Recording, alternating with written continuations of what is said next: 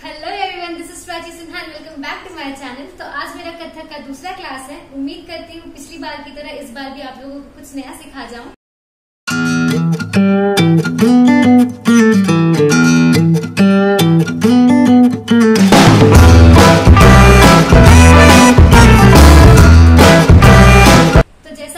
आप लोगों को अपने पिछले वीडियो में ताल करके दिखाया था, पर उसके बारे में नहीं बताया था तो आज मैं आप लोगों को उसके बारे में बताना चाहती हूँ। ताल यानी बीट्स जिसमें 16 मात्राएँ होती हैं और कथक में हम हर एक बीट को उंगलियों पे कुछ इस तरह से काउंट करते हैं, जिसमें एक, पाँच और तेरह पे ताली होती है और नौ पे खाली होती है। बस आपको इन चीज़ों का ध्यान देते हुए ताल देना है। तो आइए मेरे साथ करिए। One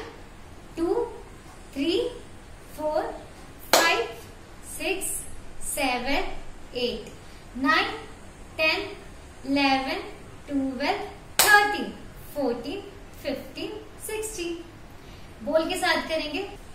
ता थई थई त त थई थई त त थई थई त त, आ थई थई त त तो बस इसी तरह से घर में प्रैक्टिस करिए और धीरे धीरे अपनी स्पीड को बढ़ाते जाइए। आप ज़रूर सीख जाएँगे।